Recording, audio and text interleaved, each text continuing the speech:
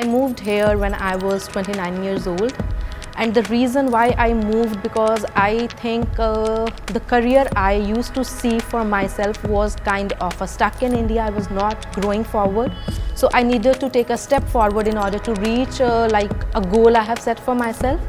So when I was searching for universities in New Zealand, I remember that AUT was ranked among the top 1% of the best universities in the world and that's what really pushed me to go for AUT. So I moved to New Zealand along with my family and it was a joint decision and my husband was very supportive about it because we as a family unit wanted to stay together uh, rather staying in different continents and now my daughter is going to primary school in Auckland and my husband is also engaged in his career and he has found a job within a month's time.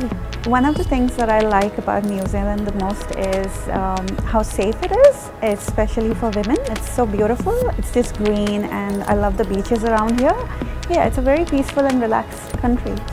So I've met so many uh, students and lecturers from so different part of world. I'm able to connect with them, not only from the professional thing, but also with the uh, personal aspects understanding the culture, understanding the way, understanding the norms.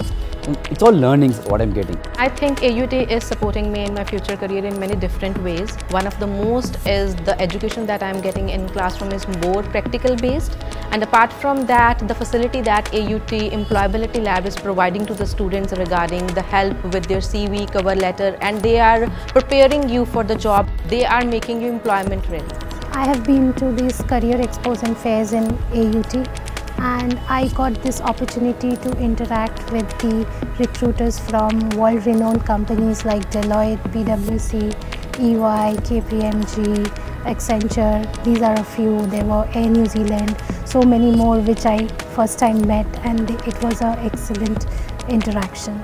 The other greatest thing I experienced in AUT is the way we can contact the lecturers, I have the phone numbers, I have the email IDs, I can contact them at any point of time and I get reply in 24 hours to 48 hours maximum. I love the fact that AUT has a very exciting culture. I have classmates from all around the world. I get to meet people and um, make new friends from all around the world. That's like really amazing. It's fun and exciting. The one piece of advice I would like to give for the future students is New Zealand is a country of a lot of exploration and opportunities.